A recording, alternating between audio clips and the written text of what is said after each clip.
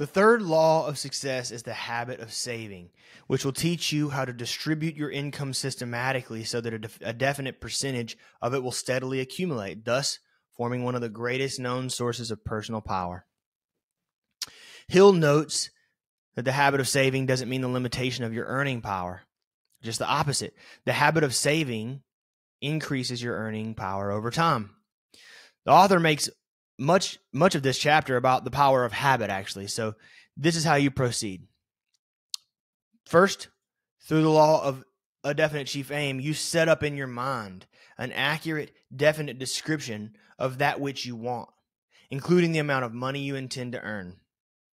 Your subconscious mind takes over this picture which you have created and uses it as a blueprint, chart, or map by which to mold your thoughts and actions into practical plans for attaining the object of your chief aim or your purpose.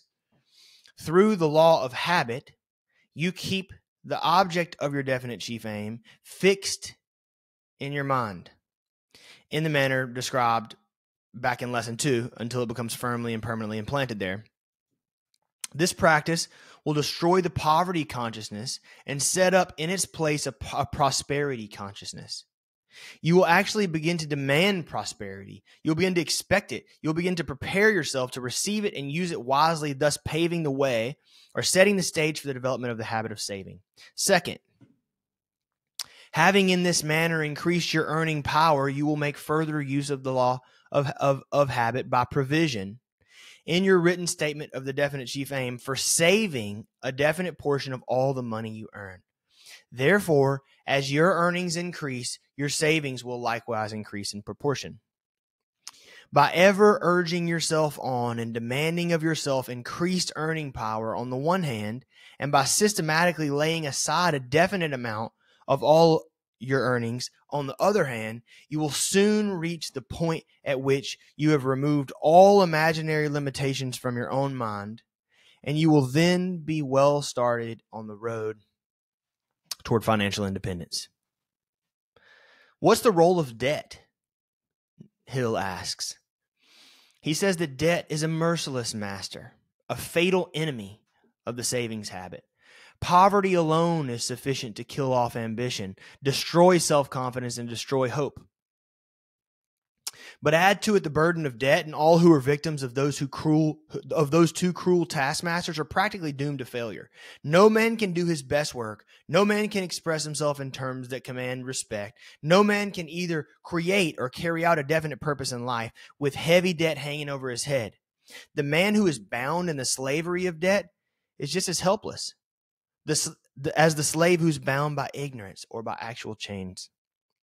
The fear of poverty is one of the most destructive of the six basic fears described in lesson three. The man who becomes helpless in debt is seized with this poverty fear. His ambition and self confidence become paralyzed, and he sinks gradually into oblivion. There are two classes of debts, and these are so different in nature that they deserve to be here described as follows one, there are debts incurred for luxuries, which become a debt loss. Two, there are debts incurred in the course of professional or business trading, which represents service or merchandise that can be converted back into assets. The first class of debts is the one to be avoided. The second class may be indulged in, providing the one incurring the debts uses judgment and does not go beyond the bounds of reasonable limitation. I think this is a very important distinction because most people that talk about debt talk about talk about it in too binary of a way. You know, you've got the Dave Ramsey's that said all that says all debt is bad, and then you've got other people online that say that you should use debt and that's a huge tool and that's right, but it's not a tool to buy stuff that doesn't make you money. If you buy stuff with debt that doesn't make you money, you will lose a lot of money and end in a really not good place. So very important distinction. The making and saving of money is a science. Yet the rules by which money is accumulated are so simple that anyone may follow them. The main prerequisite is a willingness to subordinate the present to the future by eliminating unnecessary expenditures or luxuries. The third law of success is the habit of saving. and in conclusion, you know, the the way to think about this is just to choose an amount. Like, especially if you're salaried, you know how much you make. Set aside, it doesn't matter, hundred bucks a month. It, set it aside, but it'll build up and it'll build up and it'll build up, and then you have money if something doesn't go well.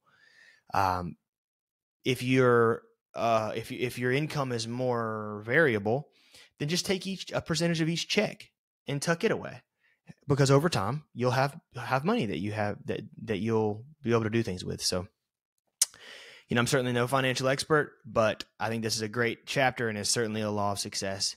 So thanks for watching. And until next time, be good.